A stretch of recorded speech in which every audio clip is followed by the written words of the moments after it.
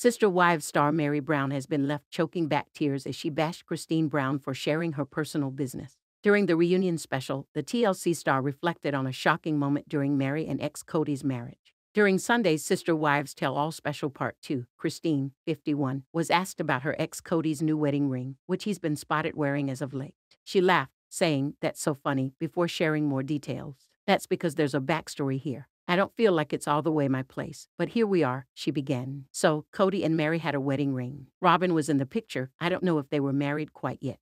He melted down the ring. Save the gold, save the diamonds. Well, Meri found out. She's like, Where's my ring? You don't wear it anymore. And he was like, Oh, I melted it down. Just like that. Christine suggested that she was stunned by Kody's behavior, making a shocked face. She went on, He was like, I didn't want Meri to have control over me and power over me anymore. I'm like, it's still your wedding ring. It's what you've had for 15, however many years. So we all got together and we got him a ring and we bought him a ring together. It was a Claddagh ring. We all went in on the design, the four of us. We got him a ring and that's what he wore for a long time. And then he designed his own ring with Robyn. After Christine shared her story, the screen went black and showed only a message. It read Shortly after the one on one interviews, Meri learned that Christine had shared the story about Kody's first wedding ring. Meri, 52, appeared on stage alone and was visibly emotional. She shook her head as she held back tears, occasionally closing her eyes. I am extremely frustrated right now, she began. A furious Meri continued, after we did the taping for the one on one interviews with Suki. I found out that a story was brought up about me that is not a story that I have ever shared publicly, that is my story to tell when, where, and how I want. And somebody else took it upon themselves to tell that story, and now I'm being forced to talk about it, and I'm not happy about it.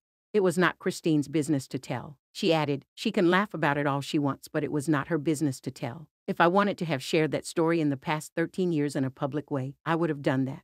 Dishing the dirt. While Meri's big reveal was perhaps the most personal, it was not the only personal conversation had during the Sister Wives Tell All. Janelle Brown was asked to set the record straight about her relationship status during the show. Rumors have been swirling that she's dating someone new following her split from Kody. Speaking with ET Online ahead of the episode, Janelle revealed that she is still not dating anyone. She added that while she's enjoyed watching Christine find love, she's not there yet. The reality TV personality explained, My children are my thing, right.